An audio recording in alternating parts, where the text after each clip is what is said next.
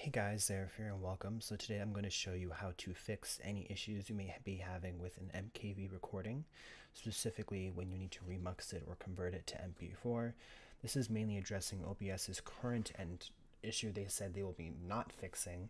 Um, essentially, what happens is when you record an MKV recording, and this only happens with MKV, not any other type of recording, but when you record MKV, it's recorded in CFR, right, which is constant frame rate that when you remux it using OBS, it changes it to variable frame rate.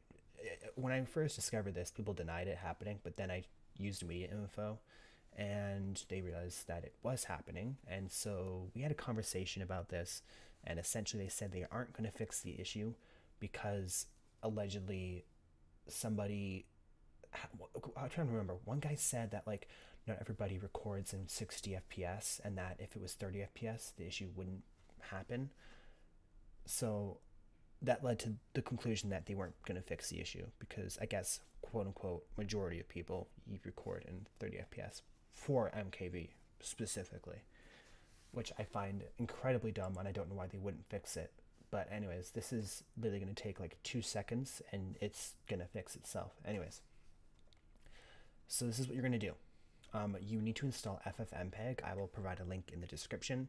Um, it doesn't matter where you have it. I just keep mine like right here. Like where is it? Where did, where did yeah right here. So I just install it there. But if you you can put it wherever you want. It doesn't matter. Um, so you're going to create a text document. So you're going to go to new, and then you're going to go to text document. When it's created, you're going to open it up, and you're going to use this code right here. This is also in the description. Just copy and paste it in there. I already have a bat file made, so I, I don't need to do this, but copy and paste this code again in the description in there and change this to wherever you installed FFmpeg and make sure you have ffmpeg.exe. Uh, you know, okay. Once that's done, file, save as, all files, and then call it whatever you want, .bat. I preferably want this in the FFmpeg folder. It doesn't have to be. You can put it wherever you want, but you need to. You can't move it because then you mess up the whole command thing. Um, once this is created, then you're going to open registry editor. Oops. So you're going to open up hkey underscore classes underscore root asterisk shell, and you're going to right click shell, new, and key, this is going to create a folder. I called mine MKV to MP4. You can call it whatever you want. I'm actually going to rename that. I just I want it to be like that.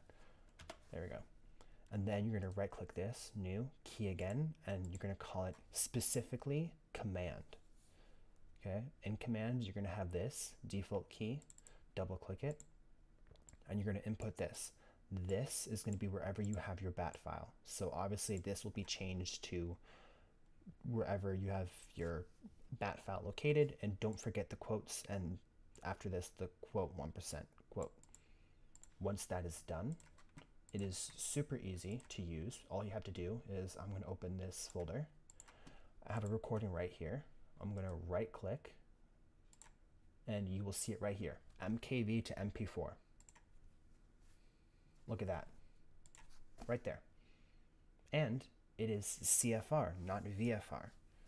So it's great and it works. This will fix any timeline issues you may be having because a lot of people don't know this when they remux using OBS. Again, because I cannot stress this enough, this issue only happens for people that use MKV files. You will notice that you may be having some like stuttering or lag or some sort of issue in editing. This is it. Trust me. Look back at your recordings that you remuxed in OBS guaranteed using media info is going to tell you that it's a variable frame rate unless for some weird reason that they fix this issue. I to my understanding they didn't. I had a conversation about this on their discord and again as i said at the beginning of this video but i'll say again they told me let me rephrase one of them one of them told me that it is unlikely that it's going to be fixed because even if they changed the the code that they use it would cause issues for people who then use 30 FPS.